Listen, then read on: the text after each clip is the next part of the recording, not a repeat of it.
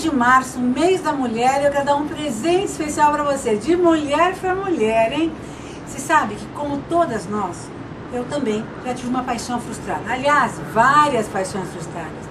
Mas numa de minhas paixões frustradas, em 2004, já bem adulta, eu aprendi a dar a volta por cima, a aproveitar a perda e fazer dela um grande ganho, um grande diferencial. E acabei escrevendo um livro sobre essa paixão. E foi um grande aprendizado. E o livro chama Grandes Egos no Caminho no Avião. Eu aprendi, escrevi um livro, dei a volta por cima, mas aí continuou. Não acabou por aí. Me convidaram para fazer uma peça de teatro. Adaptar esse livro para uma peça de teatro. E eu fui a protagonista de uma peça de teatro. Isso aconteceu em 2006.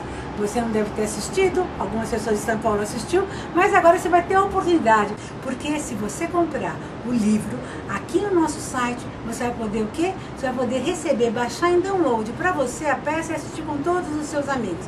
Essa peça não está em lugar nenhum no mundo, só aqui, porque eu não vou fazer de novo, já passou o tempo dela. Mas eu queria te presentear, porque vale a pena ler o livro e assistir a peça. Esse é meu presente para você nesse mês de março de 2013.